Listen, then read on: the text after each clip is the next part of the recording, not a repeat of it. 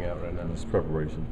You know, just continue to do what we've done and um, just stay humble. I think uh, the things that we've done, they haven't really won us anything. Um, we just we win four games and we move on, and it starts all over. So you know, we all know that, and uh, we take that in the moment. With the exception of game two, every game you guys have played with them has been a grind.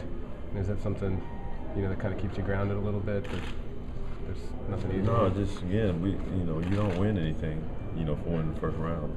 Uh, you know, winning three games doesn't mean anything either. You know, it's you can't sit around and be fuzzy because you won a couple games. We got to just make sure that we, we follow through because it is uh, a process. It's like running a marathon. You're not done until you cross the finish line. So, you know, we, we have a finish line and we got to cross it.